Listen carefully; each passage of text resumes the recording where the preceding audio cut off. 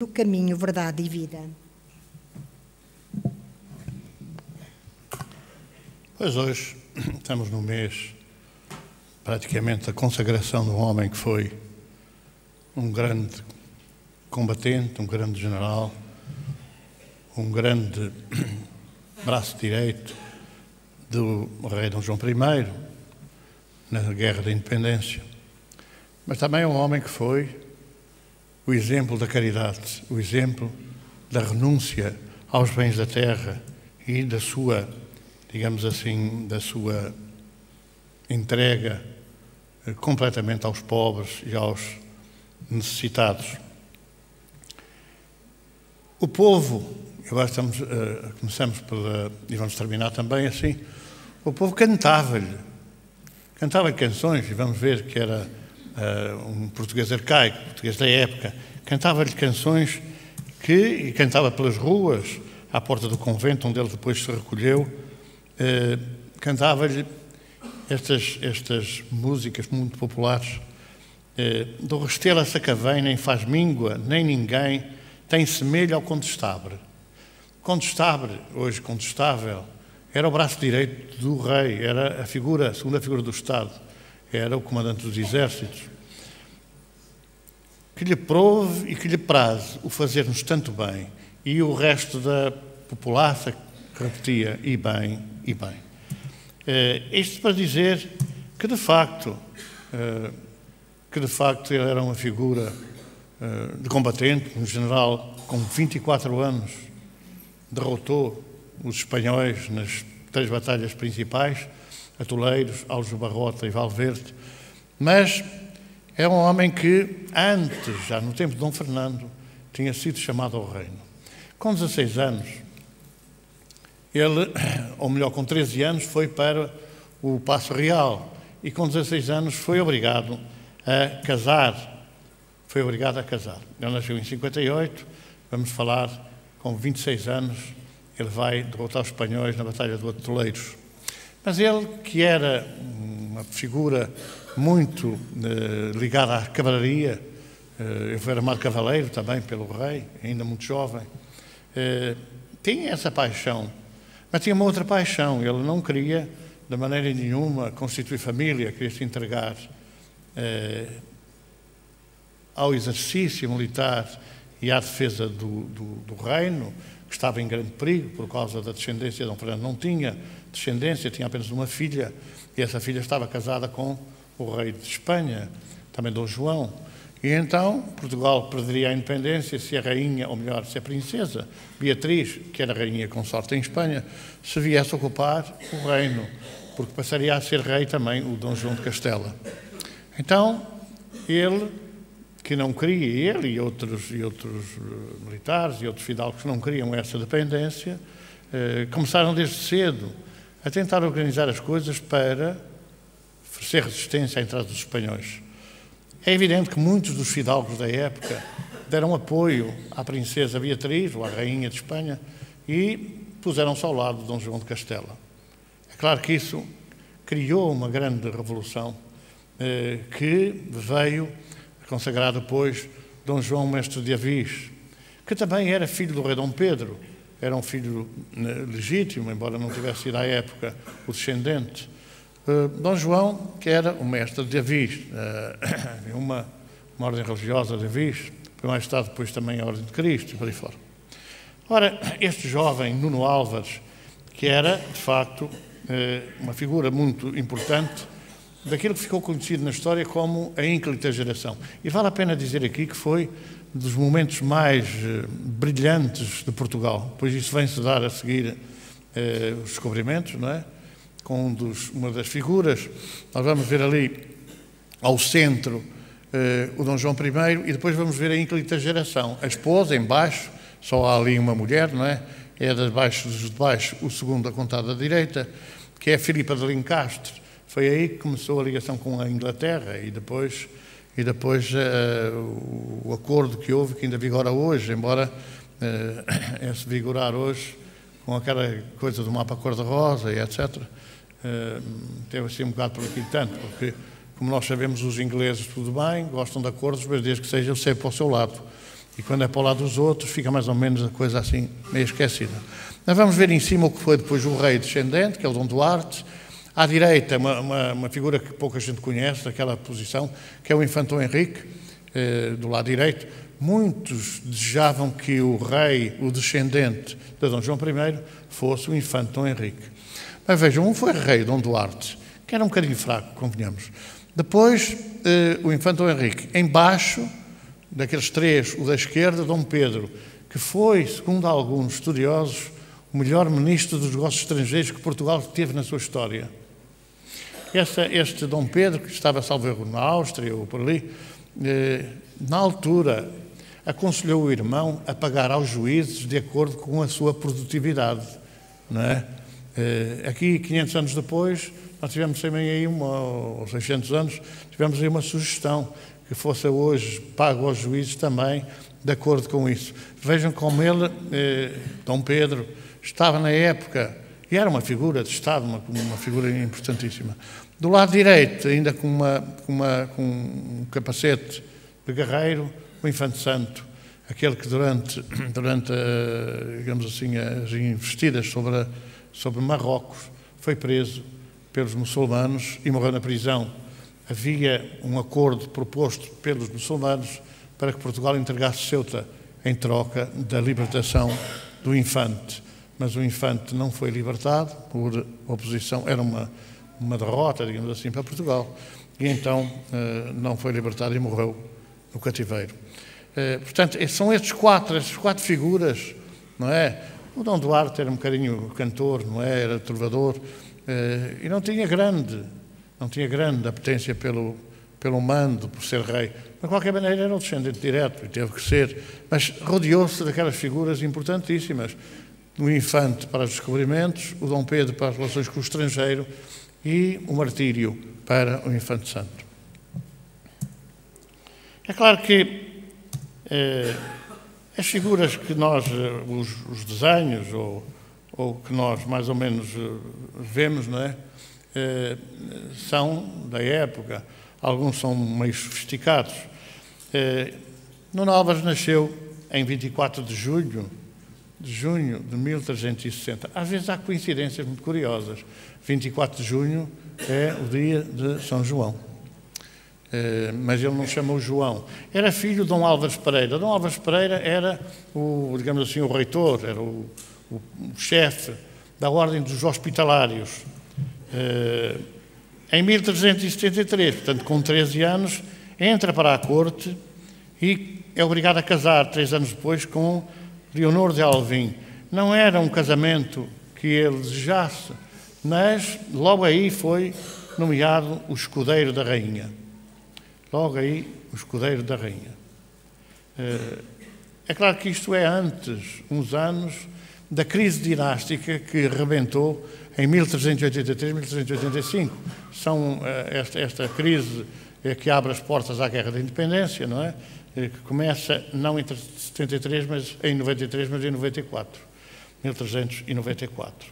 Este, este homem, não é? foi elevado à condição de contestável porque era o comandante dos exércitos. Era o comandante do exército. Na altura, a marinha era rudimentar, umas barcaças que andavam ali a passear pelo sul, eh, pelo Algarve e tal, e pelos, pela, pela beira-mar na costa ocidental. Eh, e eh, é nessa altura que a Espanha procura subjugar Portugal e cerca Lisboa. Eh, este, este Nuno Alves Pereira tem um papel muito importante no cerco de, no cerco de Lisboa, porque com alguns homens, poucos, rompe uh, a frente uh, do, dos, dos exércitos espanhol, do exército castelhano, melhor dizendo, e consegue uma vitória uh, muito significativa, que vai dar, digamos assim, lugar à sua escolha para contestável, que na altura se dizia contestável. contestável. É evidente que depois há peripécias absolutamente uh, surpreendentes. Uh, o rei manda, porque pensava, o rei, nessa altura já, o rei, o mestre Davi, que ainda não era rei, seria aclamado depois em rei, manda que Nuno com o seu pequeno exército, era uma coisa da ordem dos mil e poucos homens, mas ele foi eh, angariando outros homens ao longo da deslocação de Lisboa para a região próxima da fronteira de Porto Alegre, onde se suspeitava que os espanhóis iriam entrar. E, de facto, quando Nuno Álvares, já com o seu exército um pouco reforçado, chega às cercanias de Porto Alegre, perto, portanto, desta, desta vila, desta aldeia chamada Atoleiros, ele eh, dá-se conta que os espanhóis já estavam a cercar, já estavam a cercar, eh, enfim, eh, a aldeia de Atoleiros. E, eh, com o seu exército, ele vai, ele vai aplicar uma, uma tática que depois vem dar frutos da tática do quadrado, que parece-me que não era bem um quadrado, que era mais um retângulo. E é curioso que essa tática acaba por fazer, digamos assim, derrotar a cavalaria, que era, que era uma força que Portugal não tinha em grande número, a, a cavalaria castelhana, os soldados entram em pânico, começam a fugir e são feitos muitos mortos. Mas talvez centenas ou até milhares de mortos do exército espanhol. Eles apresentavam-se com 5 mil homens, Portugal teria 1.500, 1.800 homens. Ou o exército de Nuno Álvares. E dizem as crónicas que o exército português não teve nenhuma baixa, ou melhor, nenhum morto naquele combate. E começa aí a grande surpresa, ou melhor, a grande eh, imaginação fértil do povo do Nuno Alves Pereira ter um poder um, tão grande que estava relacionado diretamente com Deus. Porque dizia-se, era um milagre e os milagres são mesmo apadrinhados por Deus. Esta batalha de Atoleiros não é? Eh, vai dar depois origem, porque os espanhóis retiraram, reagruparam-se e avançam de novo, então, já dentro do território nacional, eh, no campo de São Jorge, ou melhor, marcham para o sul, em direção a Lisboa, e Nuno Álvares apercebe-se de que eles vão de que eles vão em direção a Lisboa e escolhe um campo que lhe era muito caro, porque ele era um devoto sincero de São Jorge. São Jorge é uma figura mítica de cavaleiro e é São Jorge porque também eh, protagonizou grandes eh, rasgos de cavalaria e ficou muito célebre. Aquele, aquela zona ali perto de Alcobaça, eh, no campo exatamente de São Jorge, que fica entre os morros alcatilados, rodeado de rios por um lado e ribas pelo outro, e eh, Nuno Álvares resolveu colocar ali, colocar ali o seu exército, que era constituído por 3 a 5 mil homens. Os espanhóis avançavam com 30 mil homens. Os dois exércitos eram comandados pelos reis, o rei de Espanha e o rei de Portugal, que já tinha sido, nessa altura, eh, aclamado Dom João I. Ora, o que é que ocorre? Havia lealdade no combate naquelas épocas. As, os atacantes avisavam quando atacavam, a que horas atacavam, etc. E então, pronto, aquilo era, mandavam afirmar, mandavam dizer, informar, vamos atacar amanhã às tantas horas e tal. Era uma guerra tipo solnado, não é? Mas havia essa de um lado e do outro.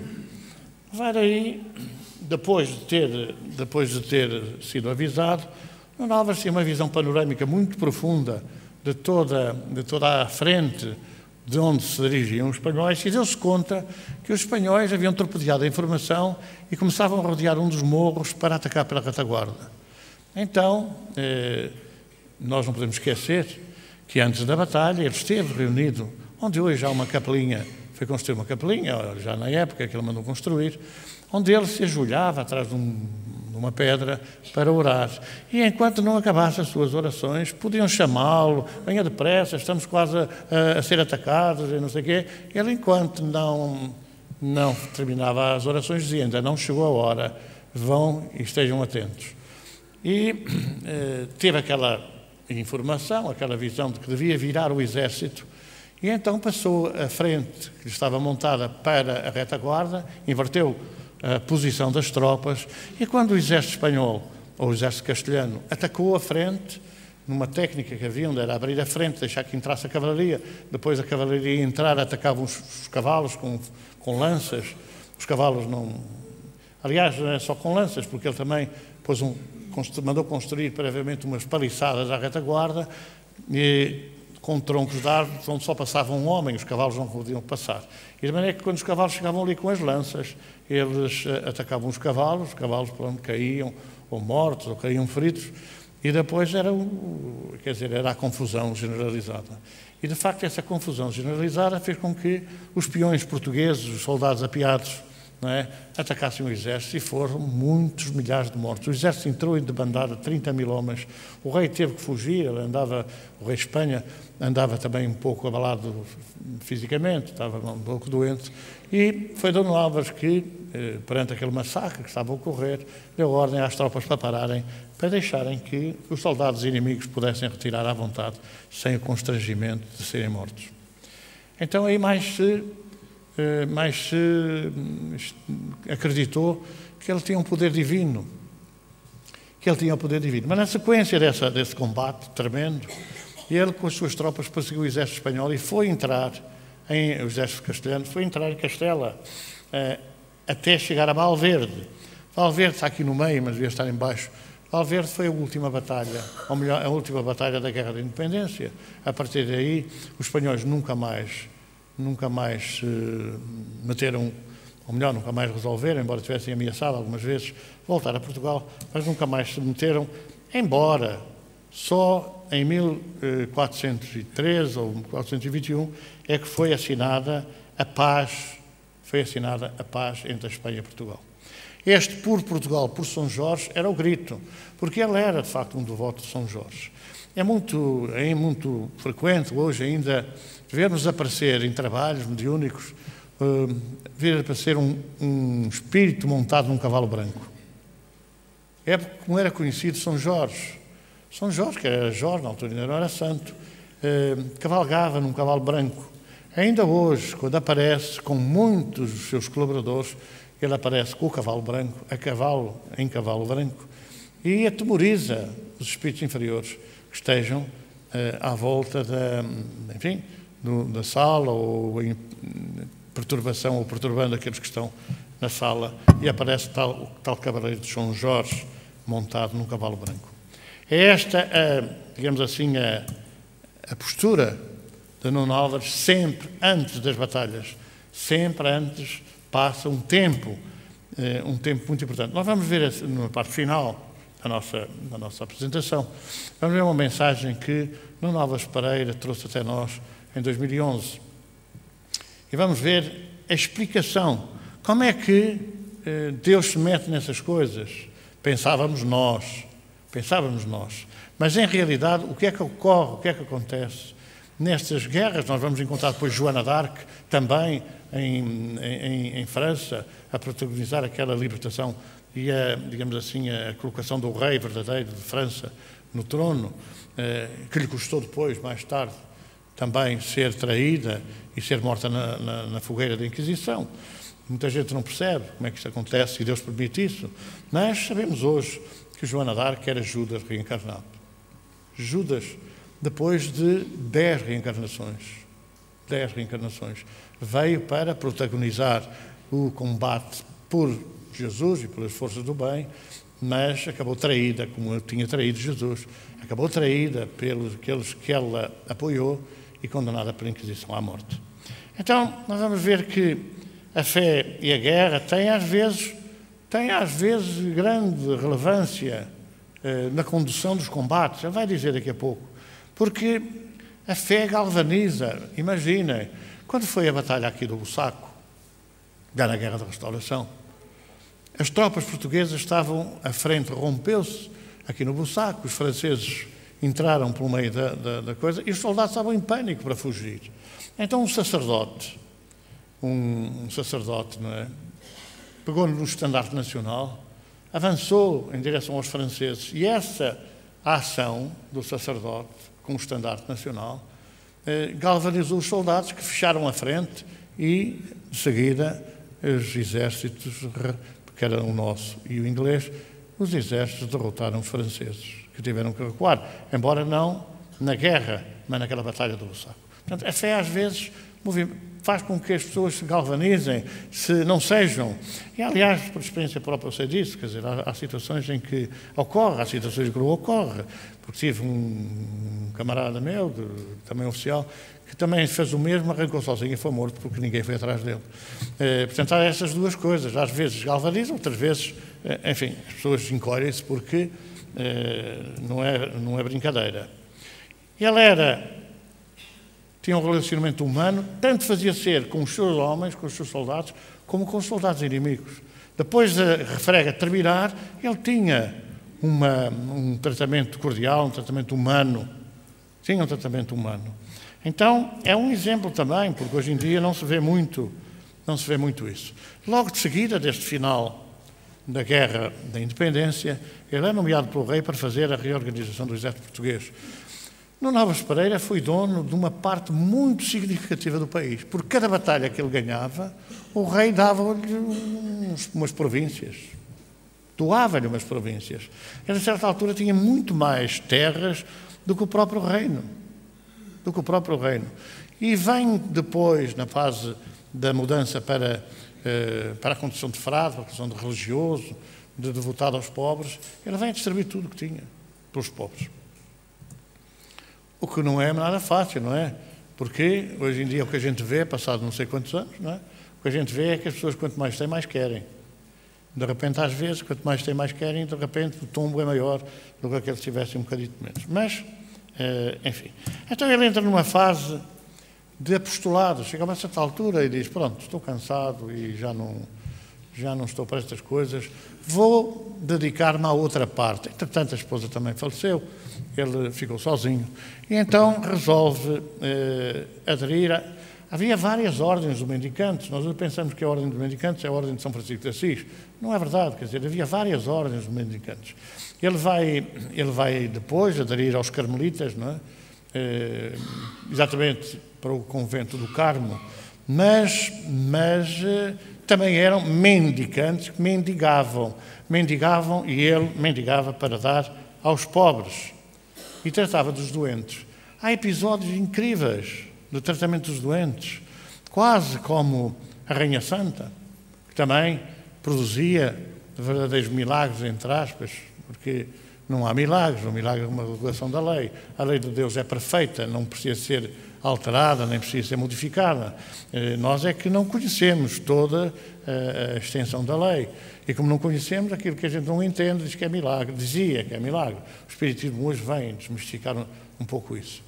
Então ele passou a dedicar-se, de facto, à bendicância, ao peditório e à doação aos pobres e aos doentes. É claro que era uma figura de Estado, era das figuras maiores, uma das figuras maiores do reino de Dom João I, da ínclita geração. E, portanto, o rei não podia permitir e, e, e intervinha, tentando convencê-lo que não podia, era uma vergonha para o reino. Ele não podia andar a pedir. Não podia andar a pedir. E chegou o rei a propor-lhe: diz-me quanto é que precisas para as tuas obras de caridade, e o reino dar-te-á, não quero pedir-te na, na rua. Pedia de porta em porta. É claro que ele, ele, isto é o convento do Carmo, não é? é o convento do Carmo, que hoje parte ainda está em ruínas, mas ele recolheu-se ao convento do Carmo, onde pontificavam os frades da ordem de Carmelo, da ordem de Carmelo.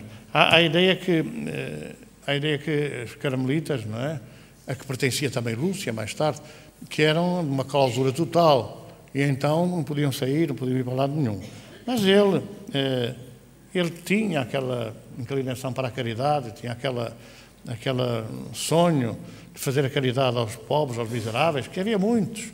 Eh, nós vamos ver, por exemplo, no tempo da Rainha Santa, que os pobres se juntavam junto ao Palácio do Rei e ela lá fazia aquelas, aquelas fornadas de pão para lhes vir dar e aqueles, aqueles sinais das rosas, de, do pão, essa coisa toda.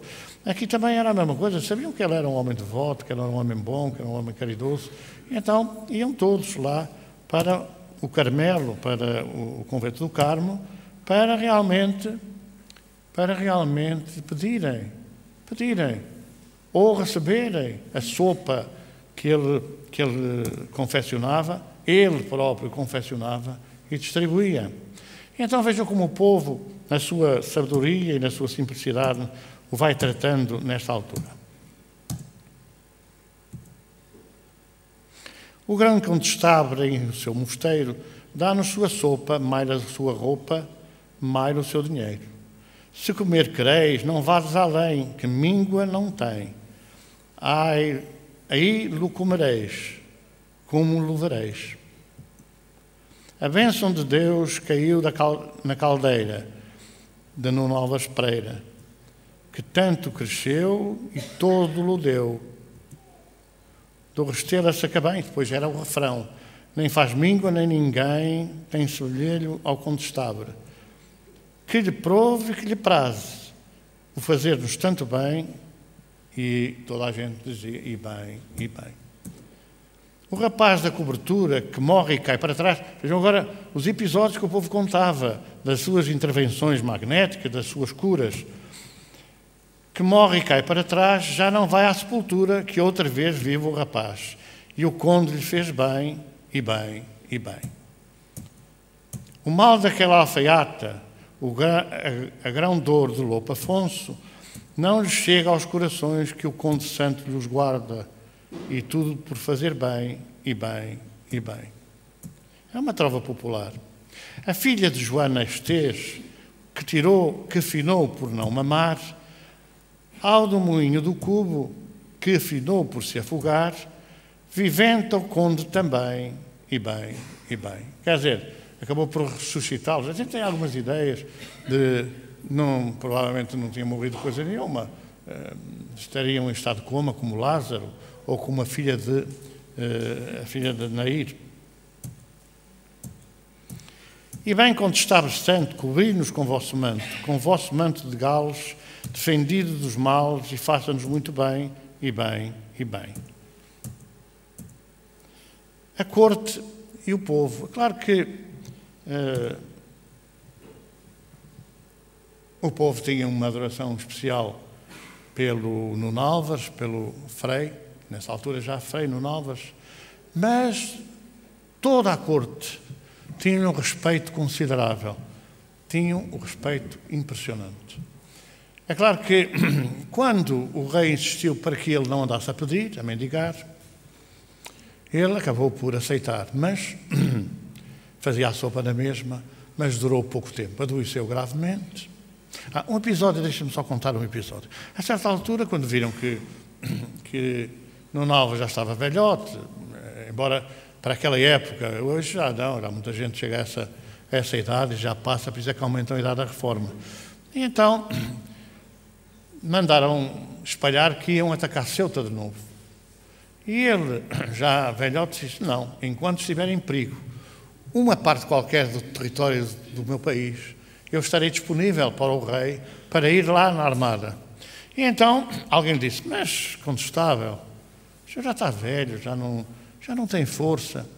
E ele agarrou numa lança, agarrou numa lança e disse: Enquanto eu, enquanto eu for vivo, defenderei a minha pátria. E lançou a lança. Dizem que a lança voou por várias do, do Carmo até chegar cá abaixo ao Rocio. E as pessoas disseram bolas, que afinal o homem ainda tem muita força. Fez constar que Nuno Álvares embarcaria nas caravelas para irem defender Ceuta.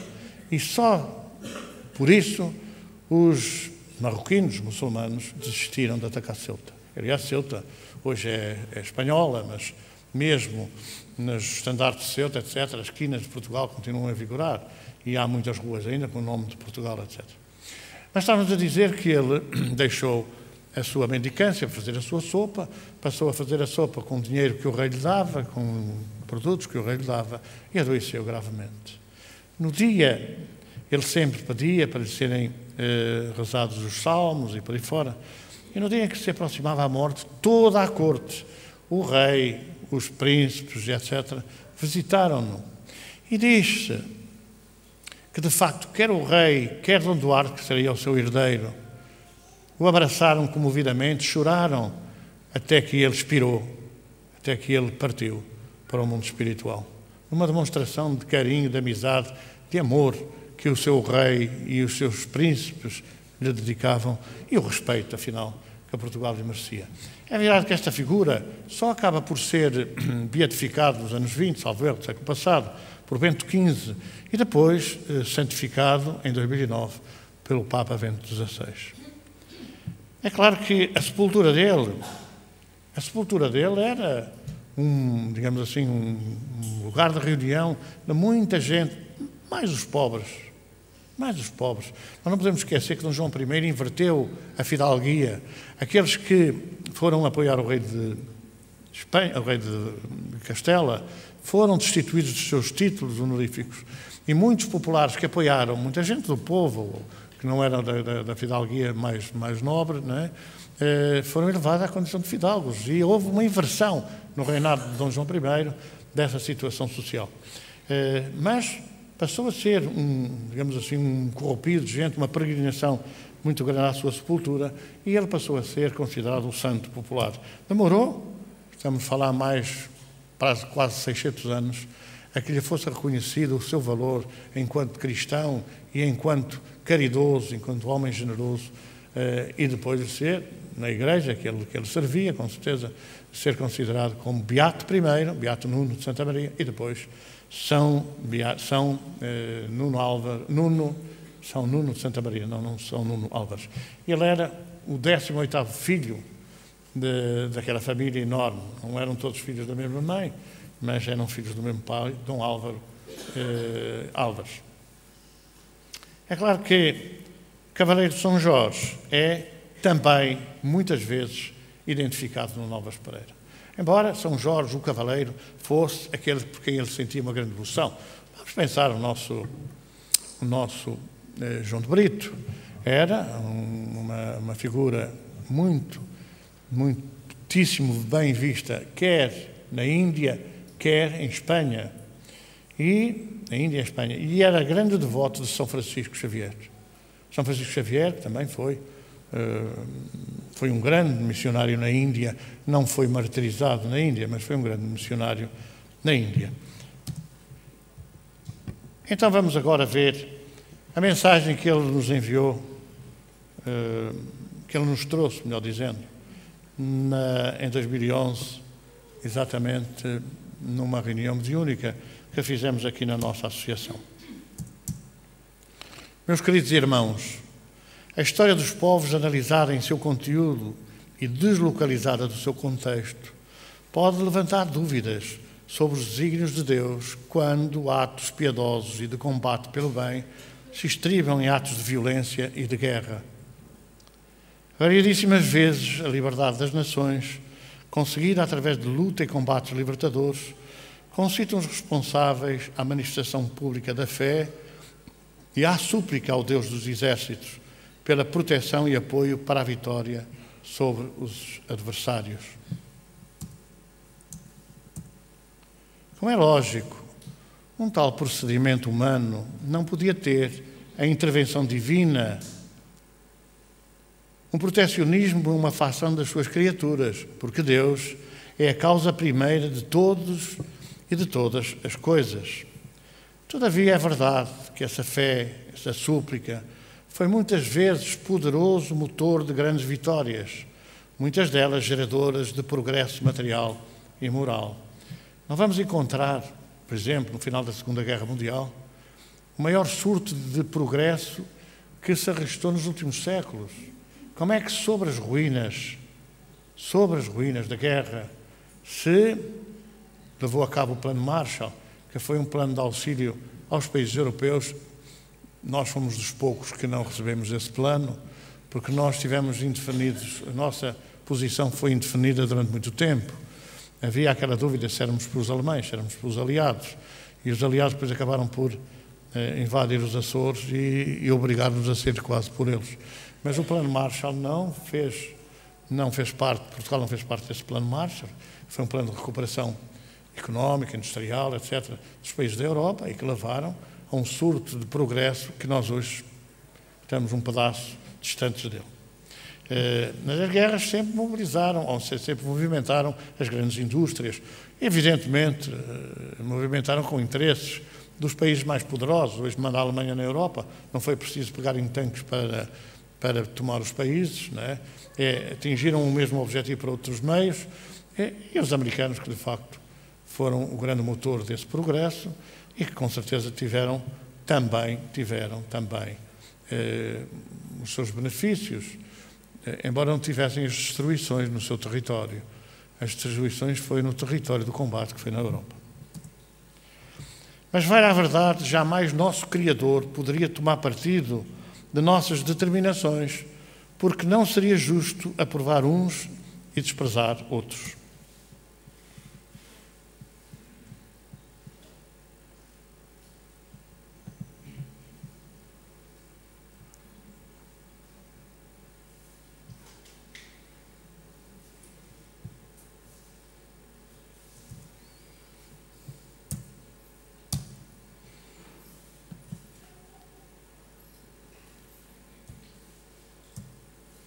Como é lógico, um tal procedimento humano não podia ter intervenção divina. Mas, vai à verdade, jamais nosso Criador poderia tomar partido das nossas determinações, como lemos há pouco.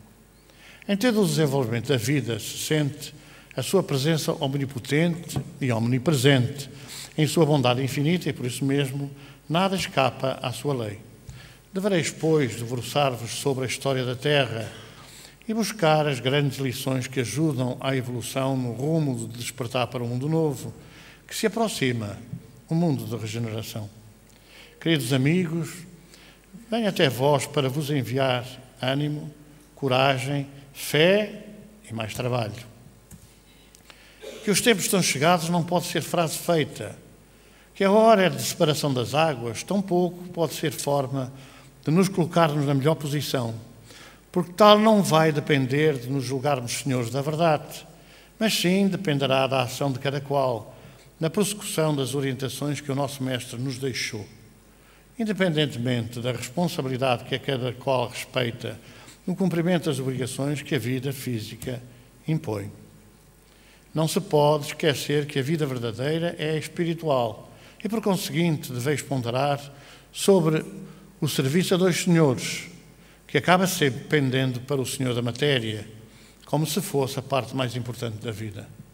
Os tempos chegados, ou a separação das águas, não se compadecem com as desculpas sempre presentes para justificar a oposição das coisas da terra em detrimento das coisas do espírito. Temos procurado trazer até vós orientações para a vida espiritual, procurando despertar-vos para as responsabilidades de agir em consonância com os parâmetros da crença que abraçastes, o mesmo a dizer com a nossa doutrina espírita.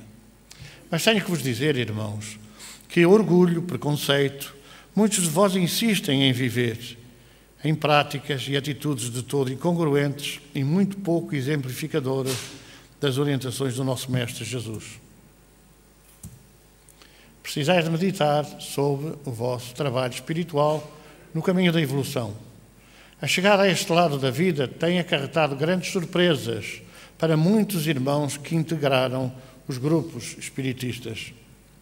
É preciso uma meditação urgente, integrada necessariamente com as condições sociais e religiosas atuais. Que cumprirá fazer ao espírita? Como proceder quando se aproxima a passos largos o regresso a esta pátria de todos nós. Para quando o testemunho do trabalho dedicado em nossa seara, de acordo com as condições pessoais e familiares, certamente. A guerra, meus caros, é agora pessoal contra os sentimentos íntimos, contra as hesitações, contra o orgulho que tantas vezes alimenta as ervas daninhas na seara do Senhor? Que cada um assuma esse combate de aperfeiçoamento a de destruição dos vendilhões que pululam e que tantas vezes afetam nossa seara, ou toda a seara, perdão. Nossa casa, nossa instituição, esta casa de amor e esperança vai crescer, mesmo apesar dos invigilantes trabalhadores que vão sendo pasto de forças de grande inferioridade. Todavia, precisamos todos nos entregarmos a essa urgente tarefa. Esta nossa povoação de amor, desta esperança saída das trevas da Idade Média, Precisa de todos e chegou a hora de todos tomarmos consciência do trabalho a fazer. Por nós tereis a ajuda, a nossa presença constante, o nosso apoio, pois também nós precisamos de vós para levar por diante a nossa tarefa. Jesus confiou-nos esta parte da seara. Vamos dar as mãos para que a sementeira produza a cem por um. Vosso irmão agradecido, Nuno Álvares. Mensagem psicografada em reunião mediúnica 19 de maio de 2011, na sede da Associação Social, Cultural, Espiritualista de Viseu. Bom, perguntasse assim, agora pode mudar assim, então, mas afinal, eh, também está aqui na Associação, no Novas Pereira, os, eh, nós vamos sempre à procura de causas distantes para que hoje esteja em marcha uma outra epopeia das descobertas. Há uns anos atrás, o nosso companheiro Rebelo, João Cabelo, eh, do Brasil, esteve em Portugal, era o administrador do Banco do Brasil, em Portugal. E nas férias que passou no Algarve, na Ponta de Sagres, num hotel, ele contou que certa vez estava a dormitar num quarto de fronteira ao mar, à Ponta de Sagres. Sentiu, assim, meio adormecido, que batiam à porta. E o filho, pequenito, chegou à porta e abriu. Quando abriu a porta, não estava ninguém. Mas João Rabelo, que é hoje um espírito dedicado no Brasil, como sempre foi, João Rabelo olhou e viu ancoradas no mar, junto à ponta de Sagres, várias caravelas de 500. É uma visão espiritual. E Aproximando-se, como vem nos painéis eh, pintados né, eh, sobre a época, sobre as viagens de Vasco da Gama, etc., ele viu aqueles homens vestidos eh, marinheiros da época e à frente tinha um dizia assim: Estamos de volta a Portugal. Fomos há muitos séculos levar a mensagem da fé, a mensagem do Cristo às terras do Brasil. Estamos de volta para trazer de volta essas mensagens consoladoras aos povos transviados da Europa. E nós vamos ver que realmente a Europa está muito distanciada, mas mesmo muito distanciada dos ideais do Cristo. Nós acompanhamos historicamente, a partir da Guerra dos 100 Anos, da Guerra dos 30 Anos, dessas guerras que foram sempre preenchendo uh, a vida social uh, dos séculos XVII, século XVIII, século XIX. E nós vamos encontrar um distanciamento quase absoluto das coisas religiosas a partir da Primeira Guerra Mundial. É uma fase crítica, aquele primeiro quartel do século XX, é uma fase crítica, é a fase da implantação em Portugal do regime comunista eh, em 1910. É um regime materialista, perseguição generalizada a todas as religiões eh, e não foi na União Soviética, ou melhor, na Rússia, depois transformada em União Soviética porque essa surgiu em 1917, em outubro, depois, curiosamente, das aparições de Fátima. Mas eh, nós vamos encontrar um período gravíssimo de perseguições religiosas e, ainda por cima, na Primeira Guerra Mundial, o comportamento das forças em presença acabou por distanciar as pessoas de, da religião. A Igreja não resolvia nada. A Igreja não ajudava a parar a guerra. A Igreja não ajudava, estava dominada, estava, eh, digamos assim, maniatada pelas forças políticas, pelas forças políticas da Europa, forças materialistas. E a saída da Primeira Guerra Mundial é uma saída materialista. Os espíritas foram praticamente todos obrigados a fugir a partir de 1910 de Portugal. Mas da Europa foram varridos completamente. O espiritismo nasceu em França, nasceu na Europa. Kardec era uma figura professor Rival, era uma figura topo da cultura europeia. Não era da cultura francesa, era da cultura europeia. Falava sete línguas, dava várias matérias, era professor de várias matérias, tinha um conhecimentos profundíssimos de magnetismo e depois veio a relacionar o magnetismo com a vida espiritual e a tratar do magnetismo espiritual. E, portanto, era uma figura, a França, os cientistas, durante todo o final do século XIX, eh, dedicaram-se a estudar, a pesquisar, a investigar tudo aquilo que era do mundo espiritual. Pois com a guerra tudo desapareceu e foi proibido. Os espíritos praticamente desapareceram, foram remetidos eh, a guetos e acabaram por desistir, como em Portugal, acabariam por ser também perseguidos até 1917, quando é fundada a Federação dos Espíritas Portugueses, curiosamente também desapareceu rapidamente, e depois, 26, quando surge a Federação Espírita Portuguesa, que depois, em 49, acaba a ser proibido, e todas as casas espíritas fechadas em Portugal. Portanto, há uma perseguição materialista atroz, uma perseguição materialista. Em 1917, teoricamente, Sidónio Pais acabou com a perseguição religiosa, mas a perseguição veio por outros meios, veio por outras formas, e continuou. E, portanto, é, é, foi tudo muito escondido. Eh, os ensinamentos de Jesus, na sua, interpretados em espírito e verdade, interpretados em toda a sua profundidade, foram pura e simplesmente banidos, foram esquecidos, foram deturpados. E nós chegamos a esta, a esta fase do 25 de Abril eh, com um desconhecimento quase generalizado das coisas do, do, espírito. Falamos de 1953 até 1974, quando esteve em Portugal proibido o espiritismo. E na Europa continua a ser mais ou menos pouco aceito. Basta dizer que para que um congresso, França, como foi o Congresso Mundial, em 2004 fosse realizado, os espíritas tiveram que organizar uma empresa comercial para poderem ser autorizados a fazer um congresso. Eu não me consta que em outras circunstâncias tenham que fazer essas empresas, mas lá foi obrigatório fazer isso.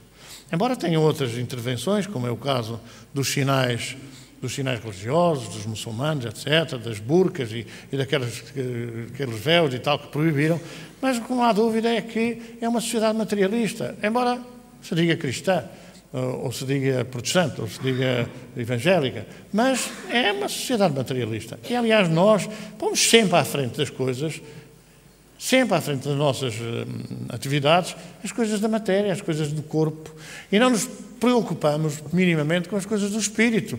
Nós estamos a chegar a uma fase é que a crise, a crise não é financeira, a crise não é económica.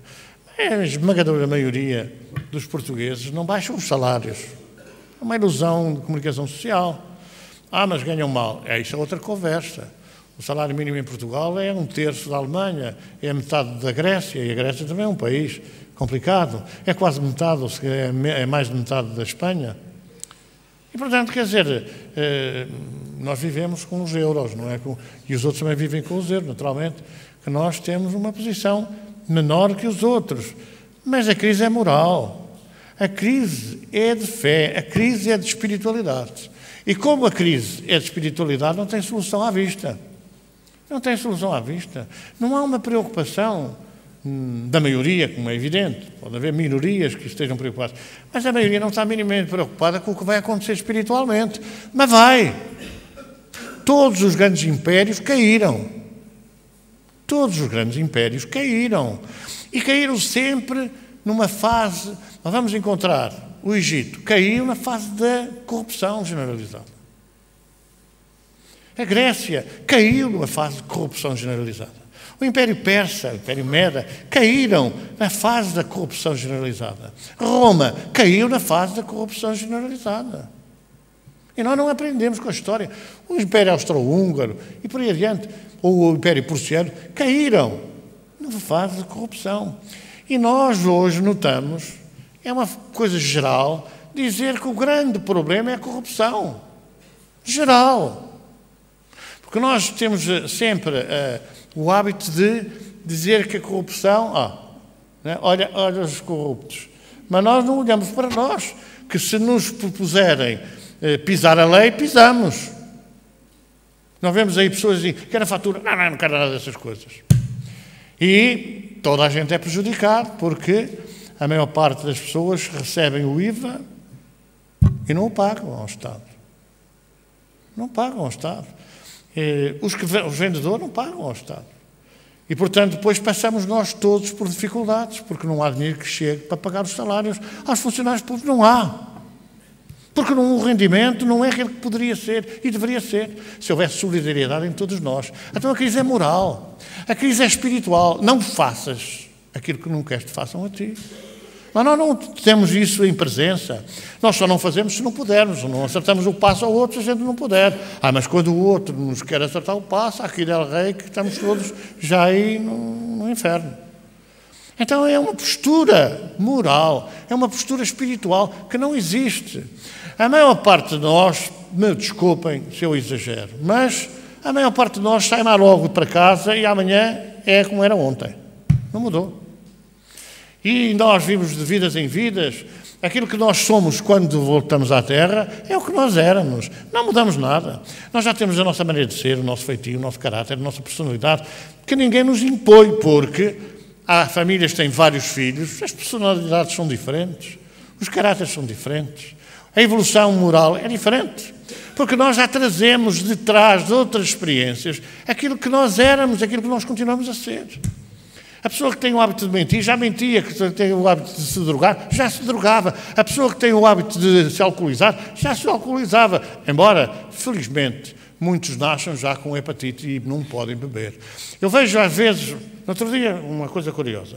Um indivíduo com diabetes, diz o médico, o médico diz assim, não pode tocar no vinho, não pode tocar no álcool. Não, senhora, eu decidi que pelo menos dois copos de vinho a cada refeição eu bebo. Olha, beba. Disse-lhe o médico: beba, depois não se queixe, porque o álcool aumenta significativamente o diabetes. É claro que a pessoa, tarde ou cedo, entra em coma diabético, faz qualquer brincadeira, além de outras coisas que não pode também abusar. E não pode abusar porquê? Porque chegou a hora de provar que tem que resistir às tentações da, da carne. E não resiste. Bem, quem diz isto diz outras coisas. As doenças que nós, em qualquer fase da nossa vida, apanhamos, são reflexos do passado. Podem ser provas. Podem ser provas, não voltes a fazer. Vai e não voltes a fazer. Não foi o que Jesus aconselhou a muitos daqueles que ele curou? E agora sim, agora vai e não voltes a fazer. Então nós temos que resistir a determinados hábitos que nos são prejudiciais. Mas esses hábitos nós já trazemos do berço. Quantos nascem com asma? Porquê é que nascem com asma? Porquê é que nascem com asma? Porque desencarnaram com ela. Isto é, com o efeito do tabaco, com o efeito, às vezes, que tem a ver com outras vidas anteriores, com o efeito dos locais onde trabalham. Havia vários indivíduos aqui nas, nas minas aqui de, de, de Canas Senhorim, as minas.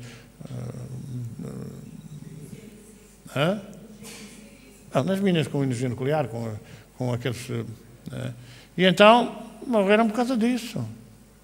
Eu ainda assisti a alguns que quiseram justificar-se na tropa. Na tropa apanharam lá umas gripes, umas pneumonias e tal. Mas trabalharam 30 anos ali, naquelas, naqueles fornos, né? nos fornos uh, em, em, em Cana Senhorim. Portanto, quer dizer, a gente tem que ter atenção a isso, ter cuidados. Também os patrões às vezes não têm esses cuidados, não usam as máscaras, não usam as prevenções, tudo bem, etc. Mas tanto faz, tanto faz apanharem as doenças e depois trazerem-nas, como aqueles que não respeitam aquelas condições mínimas de, de cuidados com os seus trabalhadores, também voltam da mesma maneira. Também voltam igual. Os que vêm miseráveis, muitas vezes, são os ricos, os poderosos, que não souberam administrar os bens que lhe foram dados, em benefício daqueles que precisam. Não choca ninguém que o indivíduo tenha 20 mil milhões, 40 mil milhões, 50 mil milhões e ganhe mais 20 mil milhões, desde que esse dinheiro seja aplicado para ajudar as famílias a viver, a viver o melhor possível, a terem condições de trabalho ideais, etc. Podem ganhar tudo, desde que o apliquem a seguir. São os bons ricos que sabem administrar os bens. A parábola dos talentos é muito clara, Jesus a falar. E os teus dez? Olha, apliquei-os, tens aqui mais dez. Bom servo. Passa para a direita e tens mais, mais te terá dado. Foi Jesus que avisou isso, desde que o aplique em benefício daqueles que mais necessitam. Então, é esta preocupação que a gente deve ter com a nossa vida, conforme o nosso Nuno diz, que devemos vigiar, que devemos preparar-nos nosso Nuno Alves Pereira, não é tu cá, tu lá, mas, mas é o nosso Nuno. E é bom que a gente pense que onde houver trabalho, onde houver trabalho, eles estarão. Há tempos, nós conseguimos ter notícia, porque alguém viu, de um dirigente de um centro, de muito distante aqui.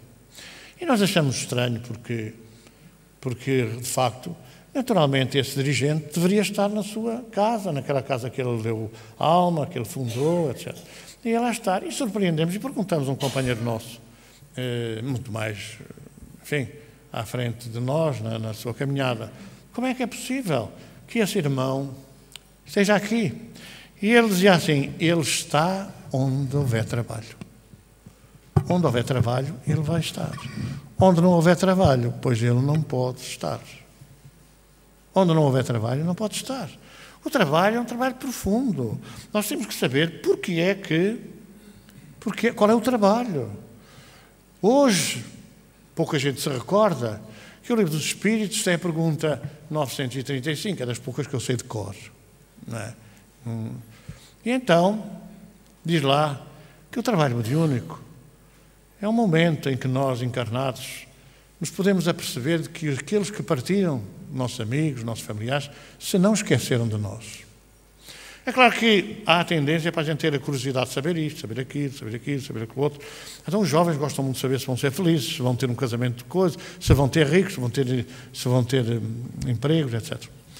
Mas nós devemos fazer por mercedes, que a ajuda nos chega. Às vezes a gente fecha as janelas, como é que pode entrar o ar fresco? Não entra o ar fresco. E dizem mais, que é o momento em que os nossos familiares, os nossos amigos desencarnados, têm consciência de que nós, encarnados, não nos esquecemos deles. Ora, se não houver, se não houver a possibilidade de nós participarmos dos trabalhos mediúnicos com essa intenção de ver, ah, este é. Nós não gostamos nada, olha, eu quero falar com o meu pai, não chama ninguém. Se ele puder falar, vem falar. De surpresa. Ah, espera aí, já vem aí o seu pai. E vem um espírito, fala no médium, diz meia dúzia de coisas triviais. Ah, a pessoa fica surpreendida. Ah, a ver não é. A ver não é, pode não poder vir. Um espírito para se comunicar, mais ou menos, vá lá, é um espírito normal, não, antes de um ano não tem condições para se comunicar através de um médium. É a aproximação de um aparelho que não é nada, que não lhe diz nada, não é o corpo que ele tinha. É um corpo diferente, é uma vibração que tem que ser preparada. Mas agora, podemos ouvir nas, nos, eh, nas reuniões, podemos ouvir determinadas coisas que só nós saibamos. E é aí que nós consideramos que eles não se esqueceram de nós. Que às vezes nos vêm dar alguma notícia, fazer algum aviso, que nós não estamos muitas vezes atentos a isso. Queremos é, estamos predispostos a saber uma coisa, a perguntar uma coisa, e aquilo faz com que nós estejamos com as janelas fechadas e às vezes não percebamos disso. Então é este trabalho que tem que ser feito. Um trabalho de esclarecimento, um trabalho de orientação, um trabalho de abertura de horizontes para que a gente corrija, para que a gente ganhe força interior e fé para podermos mudar a nossa vida. E é mudar enquanto é tempo. Porque olhem que dizem os espíritos que no ano 2025 começam a reencarnar espíritos de alta envergadura. Nós ainda estamos a tempo de corrigir o nosso percurso, de aprender as coisas do espírito e começar a pôr em marcha dentro de nós e na nossa vida. Porque não vamos fazer parte daqueles espíritos que cá estão, ainda que não muito evoluídos, e dizem que estarão, ano 2060, mais de 200 mil espíritos já em patamares de evolução maior, porque a Terra vai mudar para um mundo de regeneração. No Novas fala aqui nisso, fala nisso, nesse mundo de regeneração. E aí muitos ficarão de expiação e provas para poderem ser os alunos daqueles que vêm ser mestres, vêm ser os professores do mundo de regeneração. É, mas os 6.500 milhões de encarnados e mais os 15 mil milhões de desencarnados, aí a esmagadora maioria vai ter que emigrar. E não é preciso o Primeiro-Ministro pedir ou mandar. Porque vai ter que emigrar mesmo para outros mundos do nível em que se fizeram, tal como Adão e Eva recalcitraram contra a lei, comeram a maçã, teimaram em calcar a lei e tiveram que ir para outra escola, para outro mundo, para outra morada da casa do Pai. E é isso que vai acontecer. E é esse convite que nos estão a ser feitos. Mudem, modifiquem-se, reformem-se interiormente enquanto é tempo. Porque os tempos estão chegados. Nós andamos a ouvir isto há muito tempo, mas agora Estão mesmo, mesmo, mesmo aí à porta. Quer dizer, à porta não é no dia 31 de dezembro. Não, à porta é mais umas dezenas de anos, mas a Terra vai dar uma volta muito grande.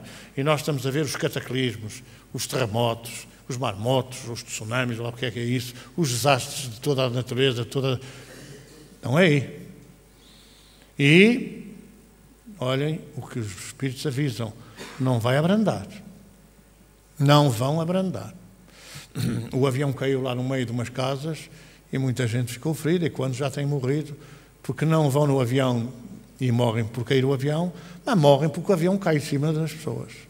E isto, descarrilamentos e por aí fora, vai aumentar aluíramento de terras, não é? Como agora aconteceu no comboio lá no, não sei onde, que as terras aluíram, o comboio descarrilou. E isso vai aumentar significativamente. Então vamos meditar, que hoje quisemos prestar homenagem a, Nuno Santa Maria, a Nuno Novas Pereira, e daqui que agradecemos a sua ajuda, a sua presença, que é constante, embora, embora tenho que dizer, de uma forma discreta e não se apresentando como o Salvador do mundo, mas como um simples trabalhador da Seara de Jesus. Ele considera-se mesmo um colaborador. Podemos dizer que é um mentor, não é um trabalhador assim qualquer, um guia de ninguém, já é o meu guia, é o guia dali, não. É um mentor que vem, dá as suas mensagens, participa com forças eh, organizadas do Exército Azul para eh, dissipar as trevas que às vezes nos rodeiam e procuram fazer-nos cair na caminhada e fazer-nos ou criar-nos mais dificuldades no nosso trabalho espiritual. Vamos fazer a nossa irradiação pelos doentes.